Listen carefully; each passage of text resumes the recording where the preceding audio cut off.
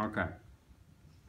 So in our first part, we've got, and then our new little, the part we were struggling with before was just thumb, hammer on, flick off, and straight back to the thumb.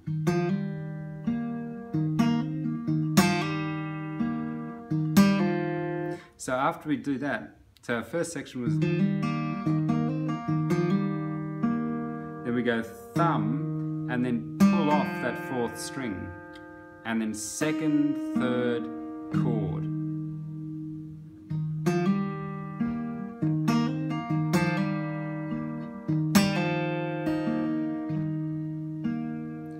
And then we're kind of straight back into our other part, but we'll figure out how to tie it all in later on.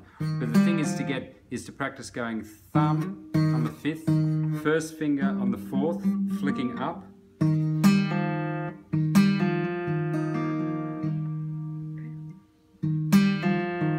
So if you realize the thumb is before that note, flick off, thumb, second, third chord.